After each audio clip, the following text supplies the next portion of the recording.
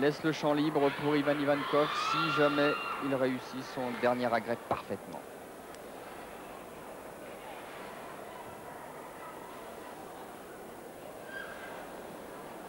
Voilà, les mains enduites de magnésie. Ivan Ivankov est prêt pour son dernier exercice, les barres parallèles.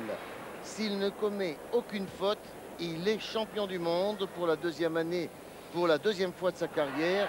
94 à Brisbane, 97 à Lausanne. Eh bien, c'est parti, et bien parti. Oui, impeccable. Aucun problème. Eli, parfait. Elle s'est pour sortir des barres, travail latéral.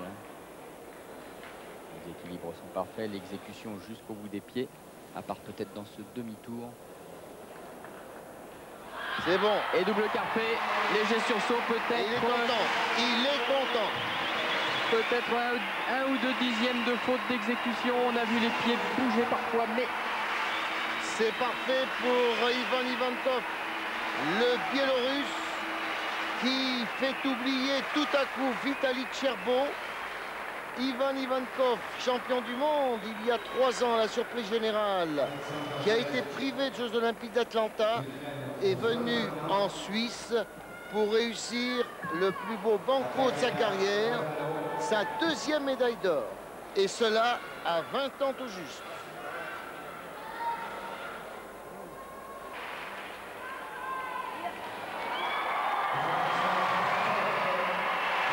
9,70.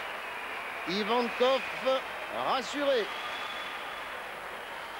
Champion du monde en survolant toutes les épreuves, sauf le cheval d'arçon où il a commis une petite faute